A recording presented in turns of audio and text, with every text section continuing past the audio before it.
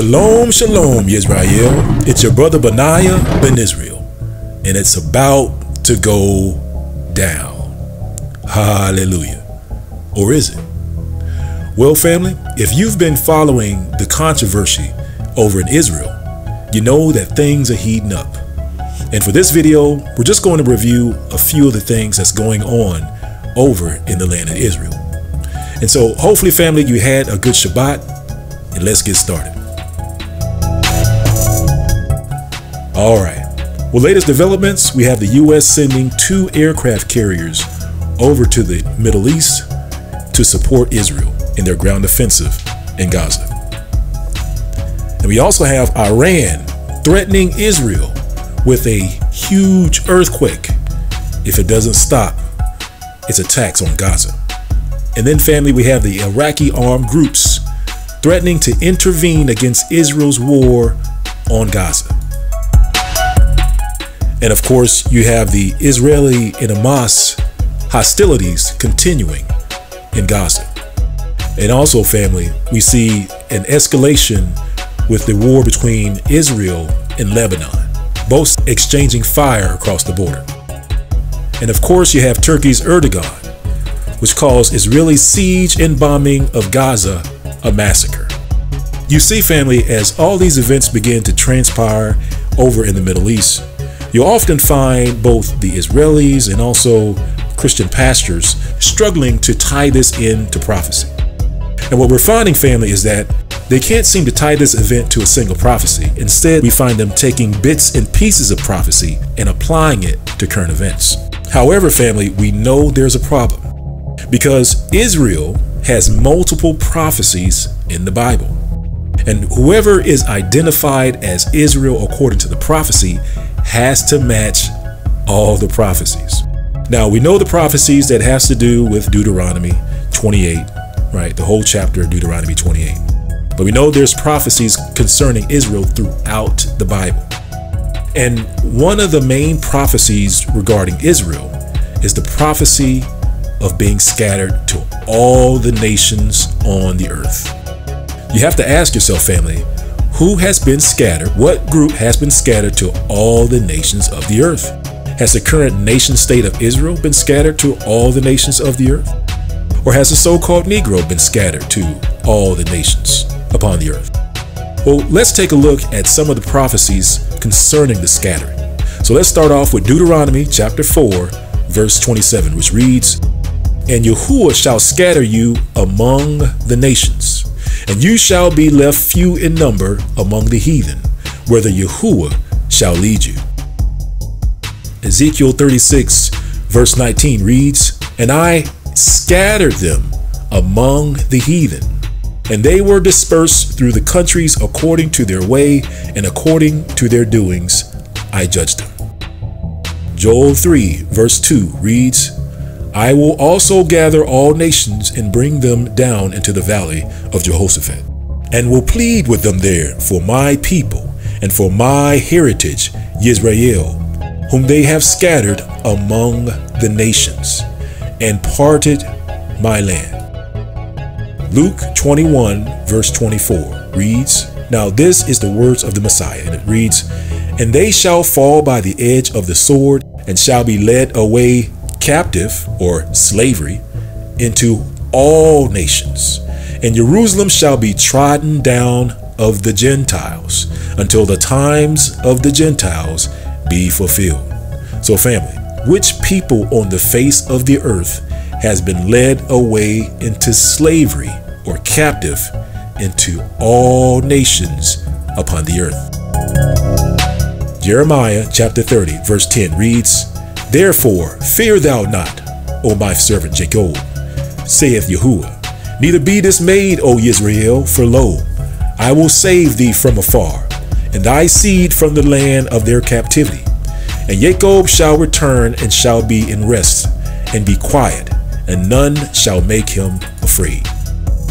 Joel 3, verse 7 reads, Behold, I will raise them out of the place whether you have sold them, and return your recompense upon your own head. And as you can see, family, the promise of the Most High is to raise Yisrael out of the place where they were sold as slaves. Which people on the face of the earth currently live in the places which they were sold as slaves? Well, so in your mind, if you're thinking, well, the people that were sold as slaves, well, that would be the, the so called Negroes and the so called African Americans. The folks that were sold into slavery are all around the world. And maybe you're wondering, well, has that happened to the present day nation state of Israel? And maybe you're wondering, well, did the Ashkenazi Jews get sold into slavery until all the nations of the earth? Or did the people of Palestine get sold into slavery until all the nations of the earth? Of whom both groups are claiming ownership of the lands of Israel. However, as we pointed out, there are a people that have been scattered into all the nations of the earth as slaves. Oddly enough, there are brothers and sisters of Israel living in the land of Israel. These are our brothers and sisters of Dimona Israel. If you look at a map, close to the center of the map, near the bottom, is where our brothers and sisters of Dimona Israel are located today. And off to the left, you can see Gaza, which is where the current escalations and current events are, as far as the war between Israel, Hamas, and her enemies. As you can see, our brothers and sisters of Dimona are also located in Judea. And oddly enough, if you look at Gaza off to the right, you'll see a heart icon highlighted in green. This is the location of the city of Lachish. Of course, the city of Lachish was sacked by the king of Assyria, Sennacherib, roughly in 701 BC. And it is here that after the city was sacked, that King Sennacherib created a relief or stone monument depicting the people that lived in this area, which was close to Gaza and relatively close to our brothers and sisters of Dimona, Israel.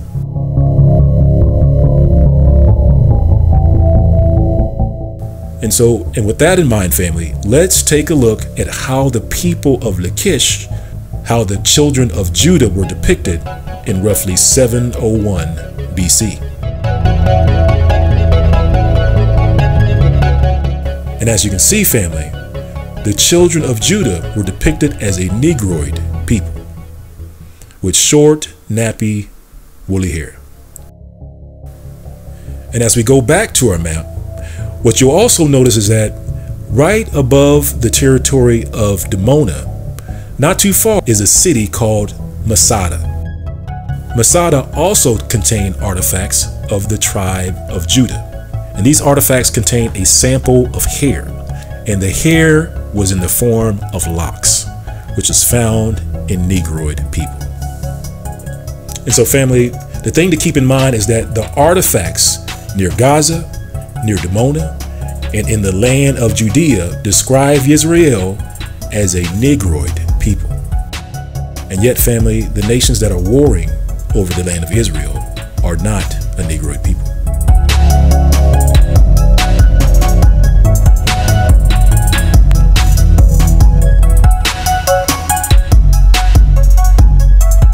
And so if you're wondering, well, if the artifacts are showing Judah to be a Negroid people, then how can anyone who's not a Negro attempt to lay claim to the land of Israel? And for that, let's take a look at an article that came out in October 9th, 2023. And this article describes the DNA of what they call ancient Israelites and the territory of Judah. And based off of the artifacts, the DNA will tell us exactly who these people are and where they came from. So let's take a look. And it reads In first, archaeologists extract DNA of ancient Israelites. A rare First Temple period family burial opens the door to genetic studies on the true origin of the ancient Israelites and their links to modern Jewish populations. Now we note, family, that at the archaeological site of Lachish, there were roughly 600 plus skulls that were found, and that in addition to the Lachish relief, that analysis of these skulls also confirmed and resulted in an identification Egypto-Nubian people. And unfortunately, we don't have any DNA results associated with those 600 skulls. But according to this article, this was a different site in which they were able to extract DNA right around the time where depictions of Judah were as Negroes and the identifications of Judah's skulls were Egypto-Nubian. Let's keep reading to identify who these people are that are being identified as ancient Israelites. And the article goes on to tell us that the that the tomb was discovered near a village of Abu Ghosh, which is right next to the biblical settlement of Kiryat Yearim, some 15 kilometers west of Jerusalem and the results of the DNA extracted from this these ancient samples reveals the true identity of these people that were found of these ancient people found in the land in the territory of Jerusalem and it reads the highlight of the very partial results is that the Y chromosome in the man belongs to the J2 haplogroup and just so you know family the Y chromosome is passed from father to son all the way down the line. So this study identifies the root of where these people come from.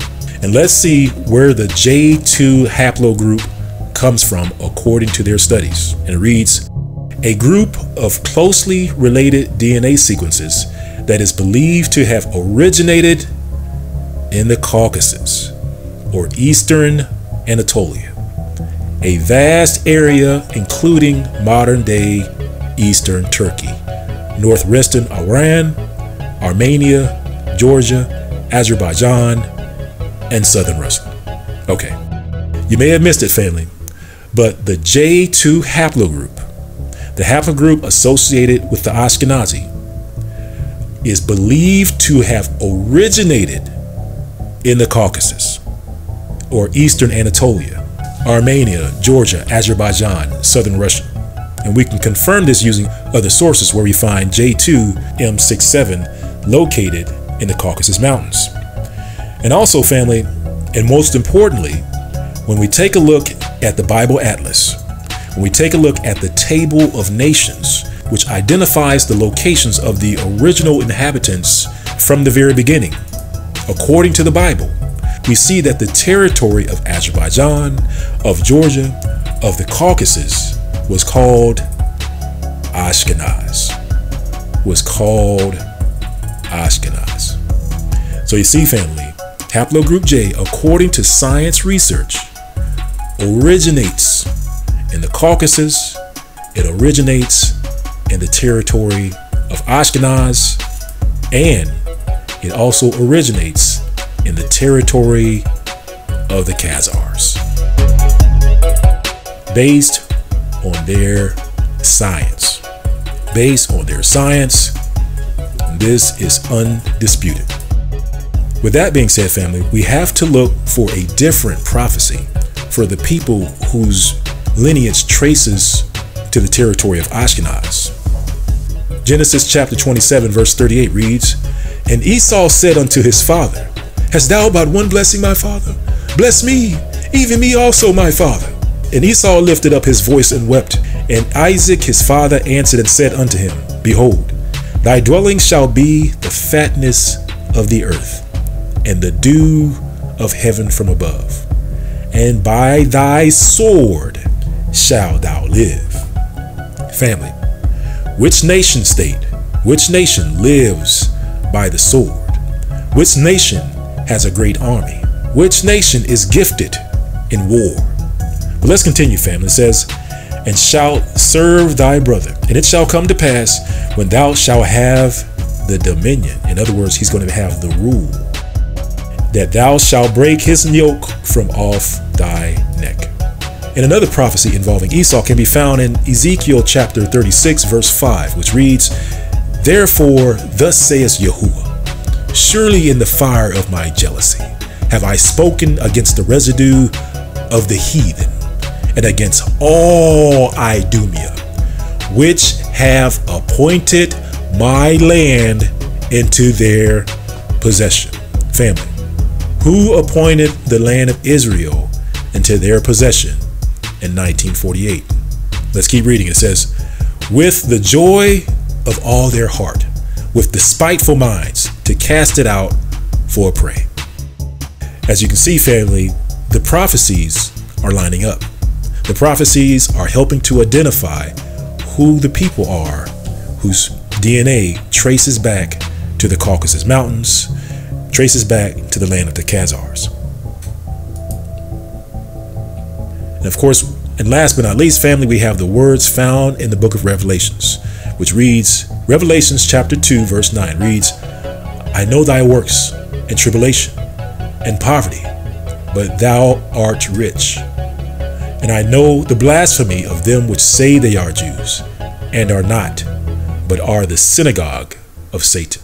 Revelations chapter 3, verse 9 reads, Behold, I will make them of the synagogue of Satan which say they are Jews and are not, but do lie. Behold, I will make them come and worship before thy feet, and to know that I have loved thee. And it is here, family, that we have a complete match of all the prophecies concerning Esau. Remember, Esau would live by the sword. In other words, Esau's blessing was the sword or war. And then we also read that Esau would appoint the land of Israel into his own possession. And we know, family, that in 1948, that the land of Israel was appointed into the possession of the Israelis. And of course, family, we haven't read it, but we know that Esau has a perpetual hatred for his brother Jacob.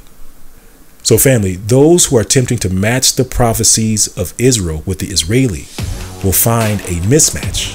However, those who attempt to match the prophecies of Esau with the Israelis will find a match in prophecy. Shalom.